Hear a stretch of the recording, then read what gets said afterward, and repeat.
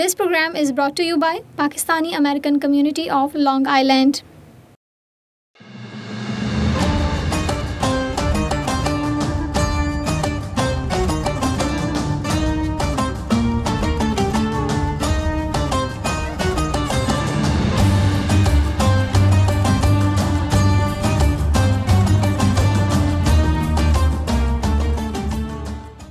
आउज़बिल्लिमिनशैतरजीम बसमीम अल्हम्दुलिल्लाहि रब्बिल आलमीन वस्सलातु वस्सलामु अला अशरफिल अंबिया वल मुरसलीन व अहले बैत तय्यबीन ताहिरीन अम्मा बाद प्रोग्राम रमज़ान मुबारक और ख़वातीन में मैं आपकी होस्ट फ़िज़ा अली और हमारे प्रोग्राम का मौजू है ईद रोज़ेदारों के लिए अल्लाह का तोहफ़ा अजान मन परवरदिगार आलम ने रमज़ान मुबारक में के पहले दूसरे तीसरे अशरे की तमाम तर रहमत बरक़ात मफ़रत के बाद अपने रोज़ेदारों को एक अजीम इनाम इनायत फरमाया और जिसका नाम है ईद।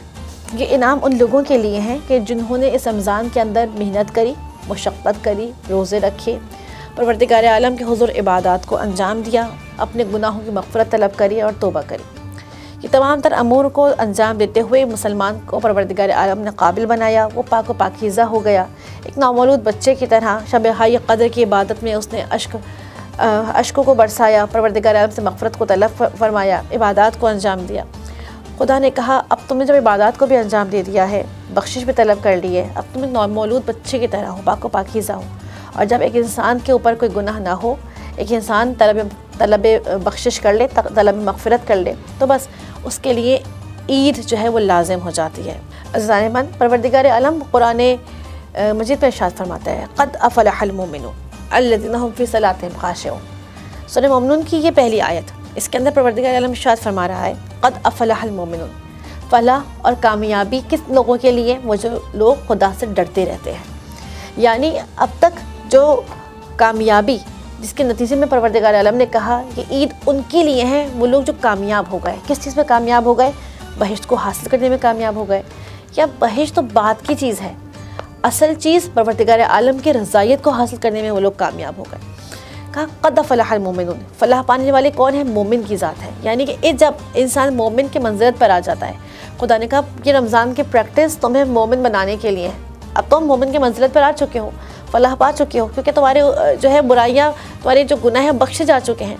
अच्छाइयों के नतीजे तुम्हें दे, दिए जा चुके हैं। अब तुम जन्नत के हकदार बन चुके हो। तुम फ़लाह पा जाने वाले हो। लेकिन अगली जो बात है अगर ये हम अपने बाकिया ज़िंदगी ज़िंदगी में शामिल हाल कर लें इस बात की जो बात है इसको आगे वाली जो ज़िंदगी है अगले जो अयाम है इनके लिए पकड़ कर रख लें तो ये शायद हासिल रमज़ान है। अल्लाह फ़िसलात खाशून जो लोग नमाज़ में खुदा से डरते रहते हैं फ़कत नमाज़ नहीं यानी कि यहाँ परवरदिगार आलम ने ख़ास सिलेक्टिव चीज़ को बयान किया लेकिन इसके अगर आप और आया, आगे आयात के अंदर जाते हैं तो हमें पता चलता कि अपनी ज़िंदगी में कोई खशियत इलाही में गुजारते हैं। ये खशियत इलाही वो बेहतरीन ज़रिया है जब इंसान जो है वो तकवे के मंजिल पर आ जाता है। परवरदिगार आलम ने ईद को उन लोगों के लिए रखा जो तकवे के मंजिल पर आ गए गुनाहों से रुक गए और परवरदिगार आलम की खुशनुदगी को हासिल करने में कामयाब हो गए। अब जो ये रोज़े ईद है ये अपने अंदर किस कदर मरतबा रखता है मंजिलत रखता है? जो एक आम ईद का दिन है कि जिसको हम लग, हमें लगता है कि नहीं हम सारे प्रैक्टिस को भुलाने का दिन है। इनके हम देखें बहुत सारे माजरत के साथ कि आज हमारे लिए ईद का दिन क्या है? वो ईद की सुबह हमें ऐसा लगता है कि हाँ हम एक आज़ादी की सुबह में आ गए। अब हमें रोज़ा नहीं रखना पड़ेगा। अब हमें जो है उन प्रैक्टिस को अंजाम नहीं देना पड़ेगा। हमें जो है नमाज़ को जमात अदा नहीं करना पड़ेगा। अगर हमारे लिए ईद की हैसियत ये है जिस दिन हम रमज़ान मुबारक के तमाम तर प्रैक्टिस को उन अमाल को भुला कर और फ़कत एक दिन के अंदर हम न्यू रूटीन के अंदर आ जाएँ। जिस तरह से हम अप, अपना चेहरा बदल लें अपना मास्क बदल लें तो यकीन करें कि ईद मनाने का हक़ हम खो चुके हैं।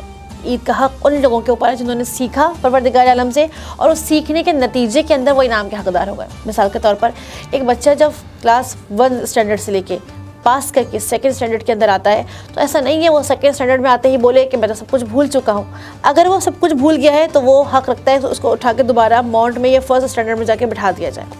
तो अगर हमने रमज़ान मुबारक से कुछ सीखा है और ईद परवरदिगार आलम ने हमारी ज़िंदगी के अंदर दी है, हमें इनाम के तौर पर दी है। तो यकीनन ये इतना अजीम दिन हम तब बनाने के हक़ रखते हैं कि जब रमज़ान में हासिल किए हुए सबक को हम अपनी ज़िंदगी में शामिल रखें और उस रूटीन को जारी रखें। इस बात से बरतरफ हो गए अब आते हैं असल इस दिन के ऊपर। ये दिन क्या है? रसूल खुदा अलैहि वसल्लम से इरशाद है आपने फरमाया, पहली शवाल मुकर्रम ईद फ़ितर का दिन आता है। खुदावंद आलम की तरफ़ से एक मनादी और आवाज़ देता है अयोहलमिनून गुदू व जवायरों को कि ए ईमान वालों, ए रोज़ेदारों, आओ और अपने परवरदिगार आलम की तरफ़ से इनाम लेने में जल्दी करो।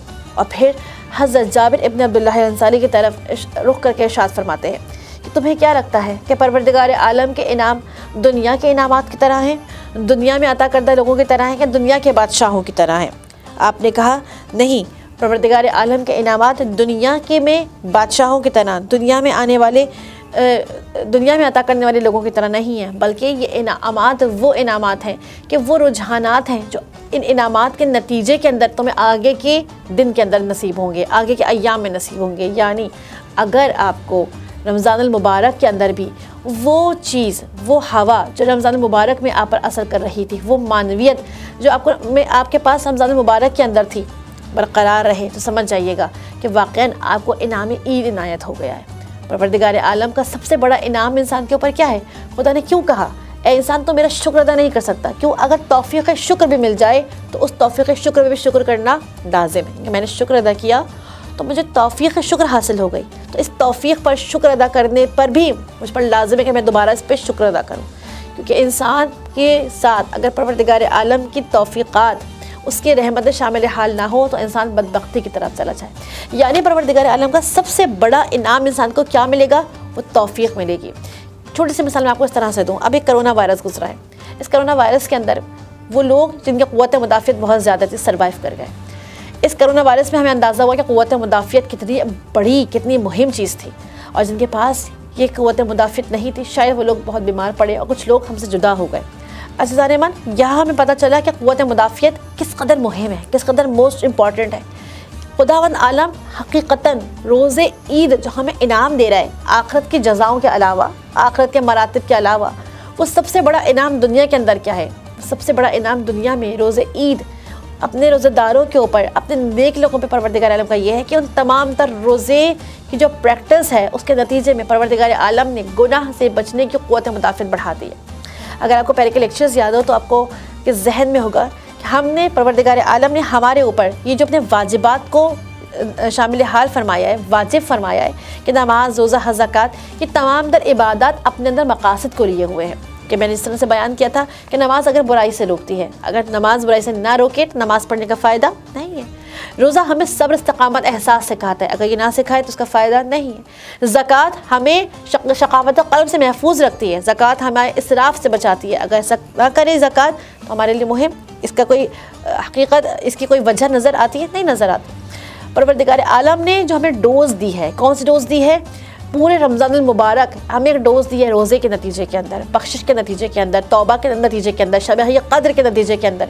ये तमाम दर डोजेस मिलकर एक बेहतरीन फार्मूला तैयार हुआ है। वो फार्मूला तैयार क्या हुआ है कि ए बंदे इन तमाम दर प्रैक्टिस के बाद जो दवाइयाँ, जो तुम्हारे साथ मैंने जो है एक रूटीन को रखा है, ये एक्सरसाइज ये तमाम दर चीज़ें तुम्हें क्या देने वाली हैं?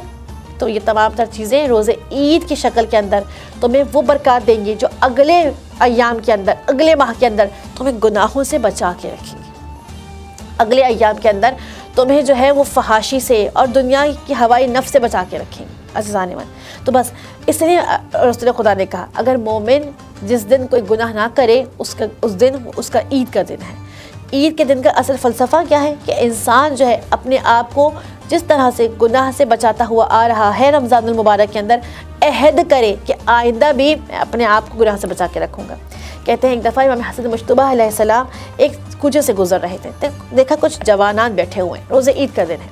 और ये जवानान बैठ के लघु बातों में, यानी कि फजूल बातों के अंदर अपना वक्त ज़ाया कर रहे हैं। और कुछ लहाब लहाब की महफिल सजाई हुई इस तरह से हम देखते हैं, कुछ जवान बैठ जाते हैं, गली कुचों के अंदर और आपस में गुफ्तु के दौरान कुछ लहब लहाब कुछ बजाना, कुछ ऐसे ड्रम बजाना, किसी किसी चीज़ को बजाना, इस तरह से इन्जॉय करना शुरू कर देते हैं। मौला ने देखा कि कुछ जवानान रोज़ ईद जो है, इस तरह के अमूर को अंजाम दे रहे हैं।